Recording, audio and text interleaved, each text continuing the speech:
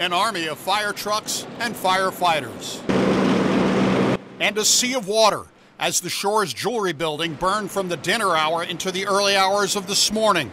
A tough loss for owner Harold Shores. I grew up on the streets of Broadway. I, you know, I cut my teeth on these sidewalks. Today, bricks are being pulled off the front facade.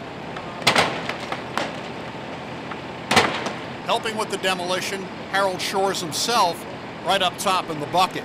I used to work for the demo guy, so I, you know, I can swing a hammer with the best of them. We put a new front on 10 years ago.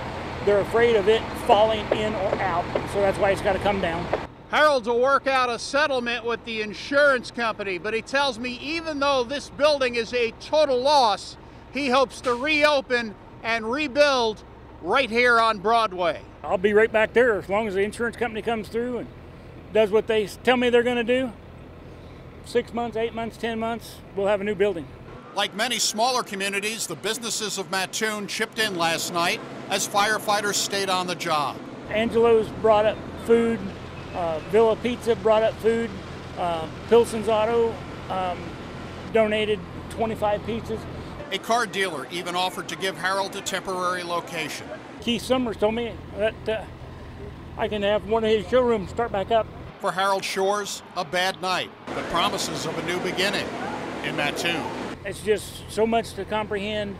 Doug Wolfe, WAND News.